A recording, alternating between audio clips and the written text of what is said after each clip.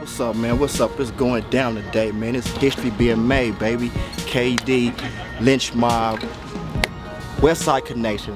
Here with my man, Big Cale, K2S. Yeah. Hey, you won't believe it, man. We come out here to shoot a video. My man Arsenal, Max Priest, Low Diggs for uh video You Ain't About That Life. And we went into my man out here painting a mural. Coincidence? This is the same man who shot my man Ice Cube, who's the Mac mural back in 88, baby. Speak Oh, on it, man. That's my boy Slick from the crew, man. We are just sharing that, but this is Cale representing K2S straight from LA. Ran into K-Dee right here, legendary Yes, sir. MC, Yes, sir. man. So right here with uh, with the homie Big Sleeves, Gabe, Copy. Can't forget Big Sleep, man. Yeah, yeah, we're out here in Vegas just doing it, you know. Hot, baby, hot.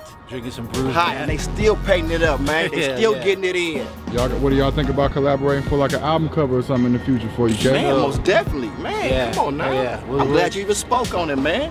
Hey, that's that's the business right there. Hell yeah, How yeah. important how important is hip hop and graffiti together? Like what It's one culture, man. it is, you Like? I said earlier, man, it coincides, baby. Yeah. On the real, man. What they do is rhythm. What we do is rhythm. Hey, art, art. It's all the same, Yeah, man. yeah, graphic and hip hop, man. It's just it's one culture, you know.